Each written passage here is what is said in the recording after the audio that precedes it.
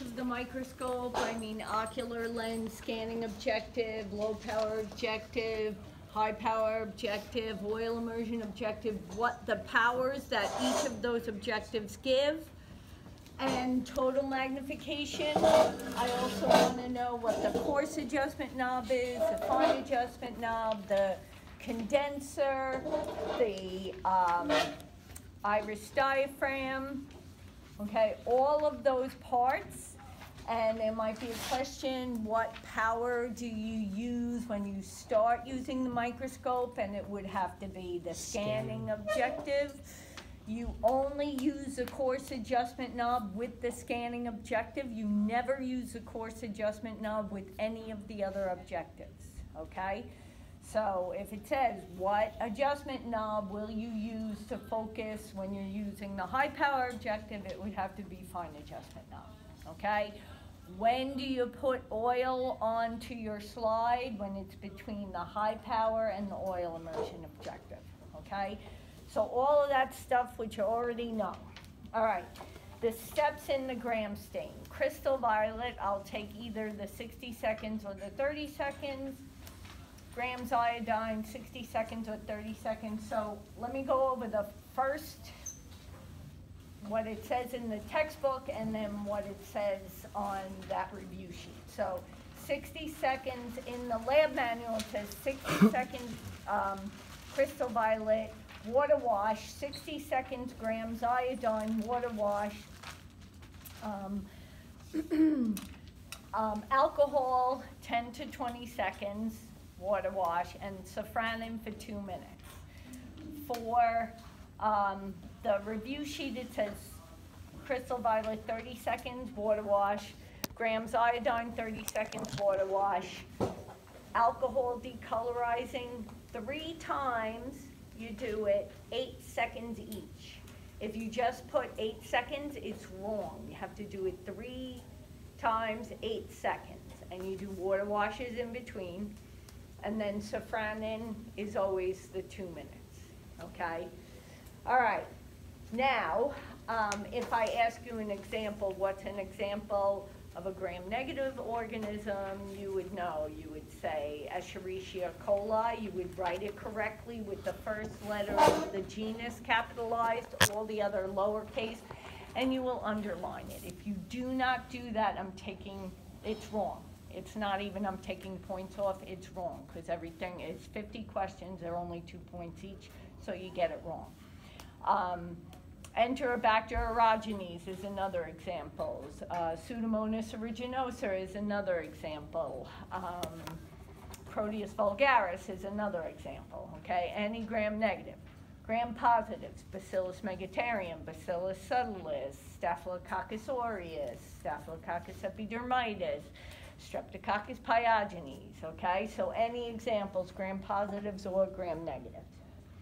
Okay, the spore stain, and, oh, and you may have to come up and look in a microscope. It will either be the spore stain or a gram stain, okay? So the spore stain, you'll have red vegetative cells and green spores. For the gram stain, it'll be purple cells or red cells, okay? Steps in the spore stain. You're gonna boil. In boil. the acid fast, it's purple and green. I mean purple and red. It's pink and blue. So the spore stain steps. Boil water. Put a piece of bibulous paper over your slide. Saturate it with malachite green and steam for five minutes, keeping moist. Then water wash and then counter stain with safranin for one minute. Okay? As far as the acid fast stain, again, you're gonna boil water, you're gonna cover the slide with bibulous paper, you're gonna saturate with carbol fuchsin and keep it moist for five minutes, four to five minutes. You're gonna do water wash. Uh, then you're gonna decolorize with acid alcohol. Don't forget the acid alcohol step, 10 to 20 seconds water wash, and then you counter stain with methylene blue. and that's for thirty seconds. Okay, I don't have an example of an acid-fast organism, so you won't be able to, have to recognize that. Why do we stain a microbe? To see it. Right, to see it and establishes contrast with the background. Okay, preparing a slide from a broth culture. Do you want us to answer? Sure. All right, from a slide, a loop of broth, smear on slide, air dry, and then heat fix. And then to a slant, you have to put drops of water on a slide, needle a colony onto the slide, mix it, air dry, then heat fix. Good. And why do we heat fix? Prep it, kill it, stick. Right. Okay. Prepare it to, re- to receive the stain, killing the organism and adhering it to the slide. All right, why did we streak for isolation every week when we did our unknowns? To isolate the colonies. And to make sure it's not contaminated. Right, to ensure a pure culture. Okay? Now, you may have to demonstrate, but I'm not gonna incubate plates, so I'm gonna have a a circle on a piece of paper, and it's gonna say, right? So it's gonna say, use the green pen to do the first quadrant, in which case, you go like this. Okay, use the black pen to do the second quadrant, and you're gonna have show that you drag it from the first into the second. Use a blue for the third quadrant. Ah, that's not it. And then use a red for the fourth quadrant, and there's nothing in here. Okay, that's what it has to look like. If you do this,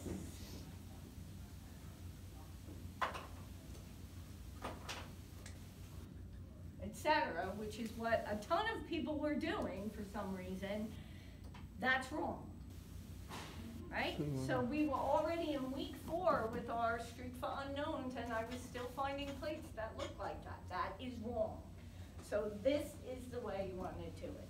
I wish I had colored pens, but I don't. Okay, four components of a carbohydrate fermentation first one we have is nutrient broth because we want the organism to grow. The second thing we have is a Durham tube, and the Durham tube is that little upside down. How do you spell that? D U R H A M. Okay, so that glass tube to capture gas. Okay? The next thing is phenol red. Phenol red makes the carbohydrate fermentation tube red. It's an acid base indicator.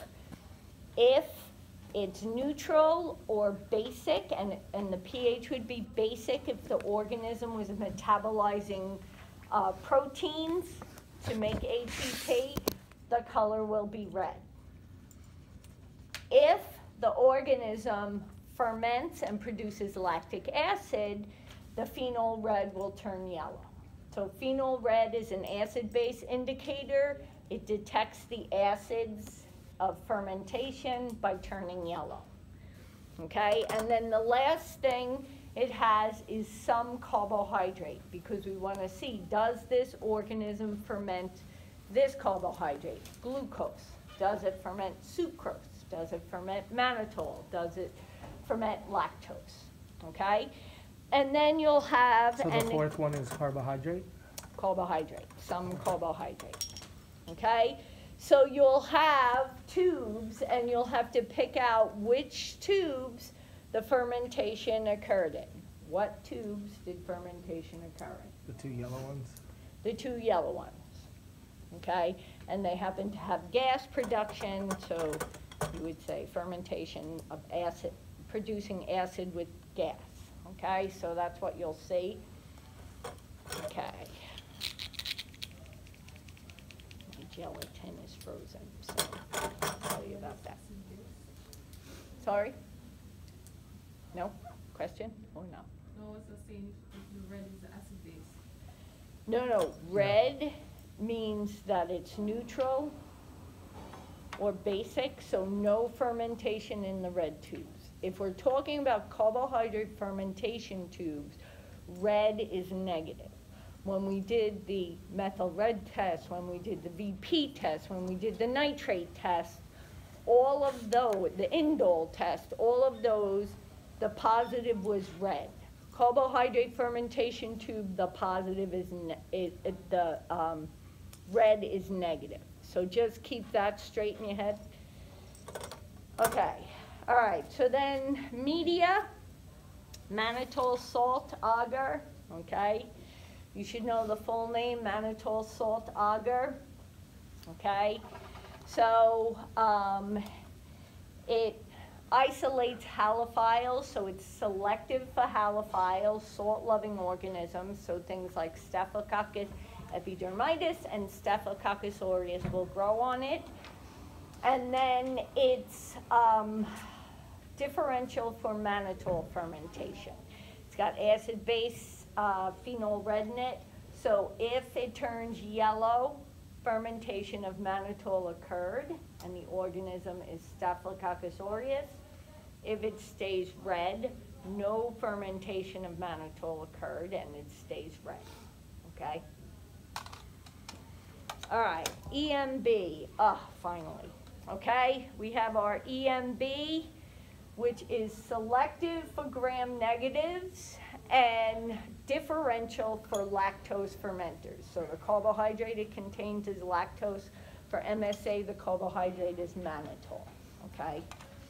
So with the EMB plate, if the colonies are um, Purple. bluish and, or greenish, metallic green, then it means they're fermenting mannitol. If they're white colonies, they're not fermenting mannitol.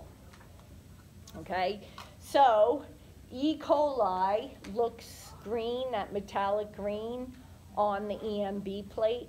So if I say what's going on in whatever quadrant A, and you have this green metallic sheen, you will say the organism is fermenting lactose. And if I say what organism might that be, you would have to write Escherichia coli, not just E. coli. Okay, as far as our blood agar plates, Will we have the correct spelling on the board? no, Okay. Okay, for the blood agar plates. Okay, actually this side by side. Okay, so the blood agar plates are only differential, so they differentiate between different hemolytic path, um, patterns. Okay, so if you look up through this, you can see clearing on this plate. This is beta hemolysis and no clearing, this is alpha hemolysis. You see that beta hemolysis, alpha hemolysis. Alpha and beta. Okay, can you it's clearing on this one? Yeah. See? You can see the difference?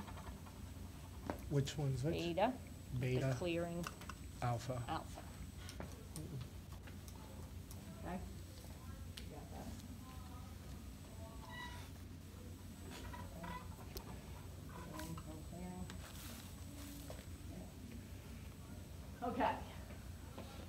All right, so you'll have plates, which plate has alpha hemolysis, which plate has beta hemolysis.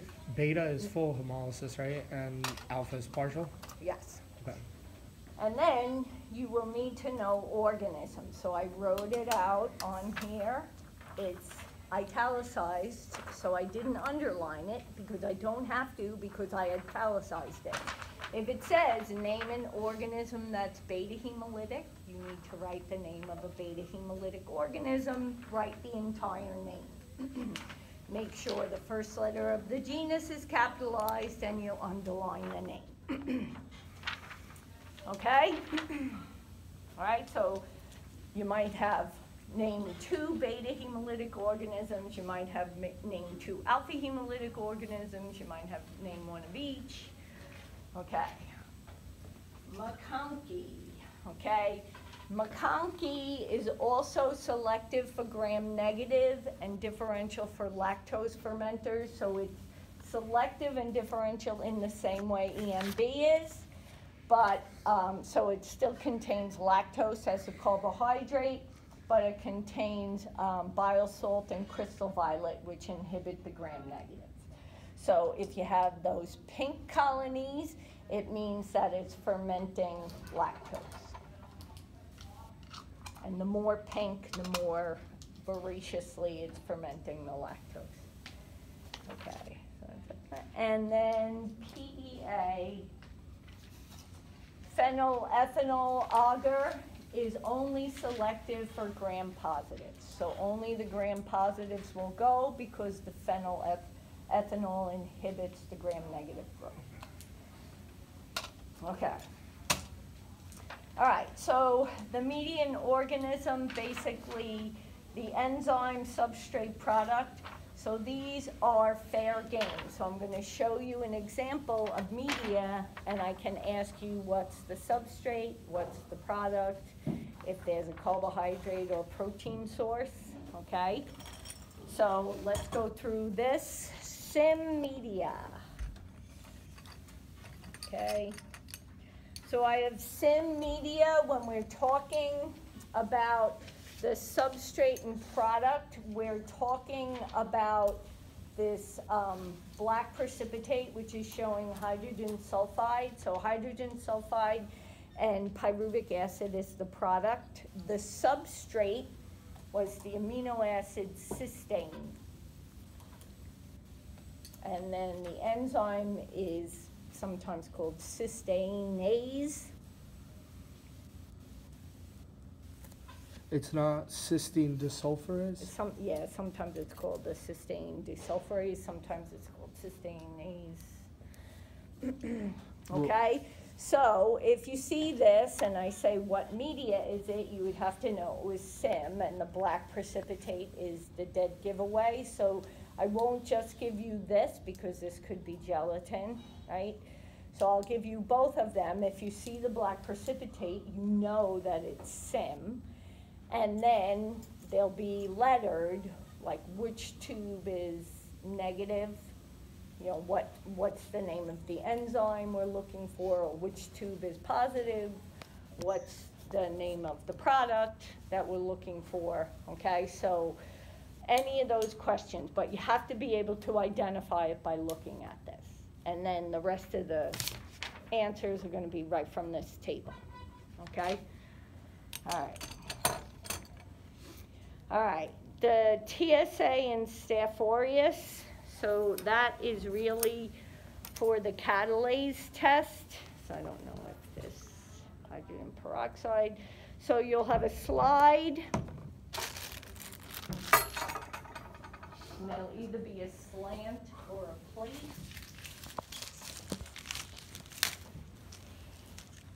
I happen to have a slant, but it, I might have a plate, and you'll take a loop of the organism, and you'll mix it with the hydrogen peroxide, and if you see the bubbles, then it's positive, so you can see the bubbles in the loop. Okay, I'm gonna make a mess if I carry this around, but you can see, so there'll be a loop there, so you can mix it around and see if the bubbles, if you see the bubbles. Okay, so the enzyme that we're looking for is catalase. The substrate is hydrogen peroxide, so that's H2O2. The product is water and oxygen. The oxygen bubbles are what you see. Okay, so the positive result is bubbles. Okay, spirit blue. Okay, with spirit blue, when you have blue colonies, then that's positive. Okay, blue colonies is positive. I'm gonna show you the one with the blue colonies and not the halo. Okay? Blue is positive. Blue growth is positive. What does the other one look like? Yeah, so you would have white colonies, okay? This one, it looks like it has white colonies, but if you look for the halo, the organism I had on here is actually also, um, gonna metabolize triglycerides. So with the spirit blue, the enzyme is lipase that we're looking at. The substrate is triglycerides and the product is glycerol and fatty acids. So the substrate isn't lipid, like it says on the thing? Oh, triglyceride, oh wow, That never is a mind, lipid. forget it. Yes, okay. And then indi- the positive results are blue colonies, okay, and you can leave the last one. Okay, I'm gonna come back to gelatin again because my, oh no, it's good. Okay, so the gelatin, you'll see multiple tubes, okay? This one's negative because it didn't liquefy and these two are positive. So liquefaction means, Right. means Positive. it's positive. So the substrate is gelatin, which is a protein, negative, and these two are positive. Okay? Negative, these two are positive. Okay? So liquefaction means it's positive, this, it's negative. Okay? Positive, negative. So these two are positive, this one is negative. Okay? And again, I'll give you multiple tubes, and that way you can say, oh yeah, it's gelatin, because it's liquid. Um, the, so the enzyme is gelatinase. The substrate is gelatin, which is a protein, and the product are amino acids. The positive result is liquefaction. What's the enzyme and citrate again? The enzyme is gelatinase, gelatinase, and the substrate is Gelatin. gelatin. Thank you. the, the product you mean? The product is amino acids, Amino acids. indicators liquidation, and the protein source is gelatin, correct? Correct. Alright. Okay. Milk agar, okay, so it'll either be one plate or two separate plates. A clear zone around means that the organism broke down the casein. So the protein that we're looking at is casein, this one's positive, this one's negative, so positive. Right, clear zone, Positive. clear zone is positive.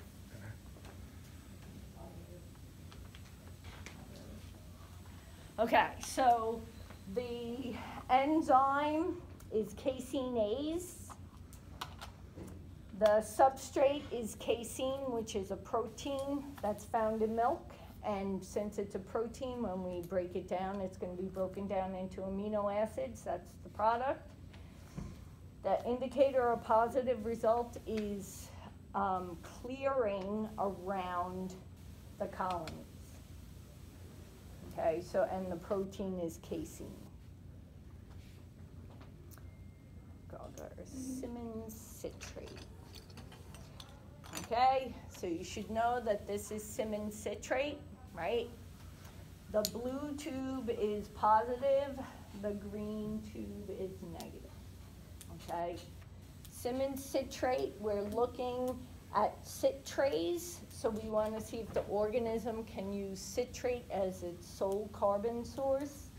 So, um, citrate, citrate or citric acid is the substrate, citrase is the enzyme, and it would make organic carbon. So it would make proteins from that carbon or carbohydrates from that carbon. Okay? So the blue tube is positive. Okay, then we have urea, okay? So the urea broth, um, we're looking to see if the organism can take urea, which is the substrate, and break it down into ammonia. Okay, that's, ammonia is the product, and the enzyme is urease. So if you have an orangey tube, that's negative, the hot pink tube is positive. Okay. Okay, and then the tryptone broth. we go. Okay, the tryptone broth, I wanna know if the organism, yeah, I probably shouldn't use these, but I just wanna show you what it looks like. Where's my? So with the tryptone broth, the enzyme is tryptophanase. The substrate is tryptophan, and the product is indole and pyruvic acid.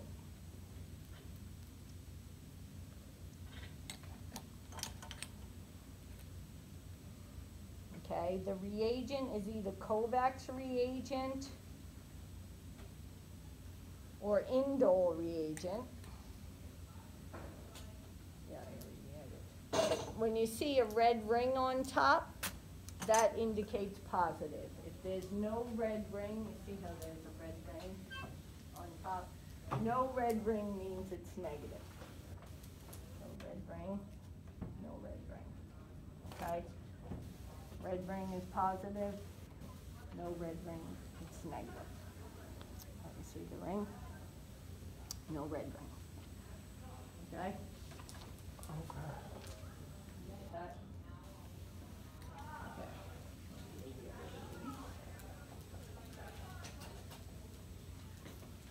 Make new ones. Okay. So when you come in, you're gonna work your way around. I have eighteen stations, so everyone's gonna start at a station. You'll get a piece of paper that you're gonna carry with you. There'll be an index card and the questions will be on the index card at the station. So you may come in and you have to start writing your answers at number twenty-four, okay? I'll circle the number that you start writing your answers on the, um, answer sheet at that station. And then on the index card, it will tell you where to go next. You cannot go to the next station until everybody, so everybody moves at the same time. Okay, I don't have a time for it. Um, so for like A and P, I always say you have two minutes and then you have one minute the second time around. For micro, I don't do that because some of the stations take longer than others. So what I normally do is there's two stations that people always take longer at, and I look and I see when they're ready, then everybody moves. So you might be at a station where it just says, what media is this and which tube is positive, and you have it all answered. Or, what media is this, what's the enzyme, and you have your answer's done right away, and you're standing there, standing there, standing there. The reason I do it like that is because the one or two stations where it takes a long time, I always look to that before you go to the next station. Generally, people only need to go around once. If you need to go around the second time, just give me a chance to collect papers that people wanna get out of here, and then we can set it up where people go around a second time, okay? Any questions? So we're not gonna be just sitting down, we're gonna be walking around the whole time? Correct. Okay. But you're not gonna walk around until I Well, tell you. yes. You, g- okay, Okay. just wanna clarify. All right. Are we ready? Yeah, This is, you, I'm ready to get it over with. yeah, but you've been doing it all semester, so, Yeah, I'm ready you to know, get it I just over. wanted to show you exactly what it's gonna look like, you know? And, and you'll be at the station, so any of the question, any substrate enzyme product questions, those are fair game. So basically, and which tube or which plate is positive, you know, what's going on here, and you would have to say there's lactose fermentation, or there's mannitol fermentation, or there's no mannitol fermentation. Okay? beta hemolysis, and we have Staphylococcus aureus and Streptococcus pyogenes that are beta hemolytic, alpha hemolytic organisms are uh, Staphylococcus epidermidis and Streptococcus pneumoniae. All right? Okay, so if you handed in your unknown and you're all good, you are free to go.